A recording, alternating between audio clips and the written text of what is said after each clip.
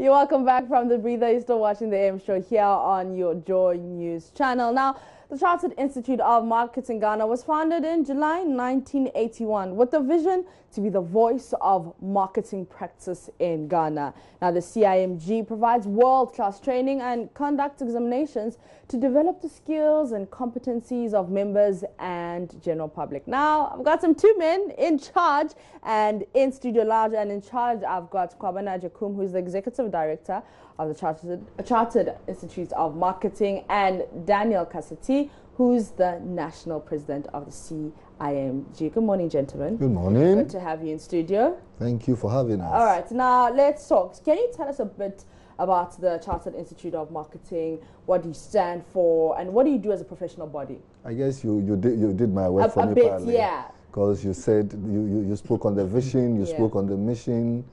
Uh, basically, our activities as a professional body is to drive membership. That is the core uh, activity that we do at CI CIMG. We also have a school. We also run a consultancy. And above all, we do events and events in and around advocacy. So we have the CIMG Awards Night, which is our flagship event. Yeah. We have the President's Ball, for which we are here today. Yeah, yeah, yeah. And we have our evening with platform where we celebrate marketing oriented companies, companies that are imbibing the marketing concept and are saying to themselves the customer is the single most important factor in business, so we should recognize as such. Okay, now before we talk about the presidential ball, you've been practicing for 30 years. Certainly. Yes. How has it been? The ups, the downs. How's the, how has the journey been? Ah, it's not been easy. Yesterday I was at a bank and the customer service was poor. So you would say there's room for improvement. In the marketing communication circles, when I joined, the kind of uh, what do you call visibility materials that we used to use is not what we are using today. Today we are more sophisticated. So by and large, it's, it's a mixed bag, kind of. All right. Firstly, congratulations on your investiture as the president uh, of the CIMG. Now, how's the feeling like? How has it been so far? Thank you. Um, let me first of all say a very big thank you to the entire multimedia group. You guys have been supportive right from the day of the elections up to the investiture and beyond. Um, um, we, we are very happy about that and um, uh, we thank you. Um, the feeling has been some way, you know. Yeah. it's good. Um, um, I have had the privilege of working on the council for about 16 years, seven under four different presidents, Yeah. um, up to the point where I was vice president for four years. So just a heartbeat away from the presidency. Um, um, I have therefore come into this position having, you know, learned very much at the feet of these um, able professionals. And um, I think I have prepared myself good enough to continue where they left off. Okay. All right. So now let's talk about the reason why you are here. The presidential ball. What's it about? What do you seek to achieve with this annual event? Can you give us more details about it? So it's one of our events, the second uh, in the league, and what we seek to do is to play around advocacy. So it's a night where the president picks a topical issue. So the president is a host. He's hosting all of us. He's host, hosting corporate Ghana. He's hosting, hosting individual marketeers and you know our sister associations, and he's speaking to a topical issue, an emerging theme, something that you pick and crystal ball gaze and ask yourself, how would it affect the tools of marketing? How would that how would that affect the seven P's of marketing, the seven C's of marketing, the seven A's of marketing? So basically, it's a night not only to talk but also to network, to meet colleagues, to discuss what would have happened during the year, mm-hmm. and all aside that, there will be entertainment. You know, we'll play band, we'll dance the night off, we'll drink wine, and eat good food for that matter. And also, it's a night to also recognize new members and induct them into office. And above all, it's a night to close our schools in terms of our digital marketing school and our traditional school as well. Okay, now let's talk about the theme 30 years of celebrating excellence, uh, challenges for the next decade. So as I said earlier Yeah. on, that we do these award, uh, this uh, President's Ball by picking a topical issue, and until the last five years, what we have done is because we want to hone in on, on any theme that we choose, we decided that this year's theme for the awards, we should piggyback and leverage on it. Okay. So you would recall that in September, the theme that we chose was, you know, 30 years of celebrating marketing excellence, synergies for the future. So we, the STEM still remains, Yeah. but we are looking at challenges ahead, and we are crystal ball gazing and asking ourselves, what are the new things that we should look out for? So the choice is based on one, Yeah. it's being topical. Two, it's being the fact that we want to leverage and piggyback on the September theme that we choose so that we can hone in and make sure that we've executed it to, to the its fullest. All right. Now, can you tell us what we can expect uh, from the, the, the president and what he'll be saying, what he will tell us? Can He's the one who is Yeah. So, so, so, so, what, what will he tell us? Why don't you come tomorrow? Join us and hear But, but we'll we, be want you. a sneak peek, you know, some, something to tease us That's to right. come, Okay, you okay. know. As um, Kwabena has said already, the President's Ball is the last in the series of activities for us uh, as we have journeyed throughout the year from January to December. What we do, therefore, is to look at the year in retrospect and see what we have done and also um, to project into the future. Um, um, how we are going to run the marketing profession in the coming year. We are going to touch on very thought-provoking topics that will shape the national discourse, right? Um, if you want me to mention to uh, mention that we want to make a very bold statement on the need for political marketing in Ghana, Okay. because we've seen the political atmosphere is untidy. Oh. There's no sanity there, and this is because political parties will not employ marketing people to help them market their ideas and their, um, uh, you know, their biggest product beyond political ideology is a candidate for an election. That candidate does not necessarily require people who speak big English, lawyers, and the, and the like. They require people who will understand the needs of the average electorate and to be able to market these candidates strongly, right? Um, just take what happened in Britain. Boris won his election. Yeah. Three key words. Three key words. Get Brexit done. That's it. He didn't insult anybody. Yes. He didn't mention anybody's name. He- the closest he came to was to say, the other guy will not do it. Yeah. He didn't mention anybody's name.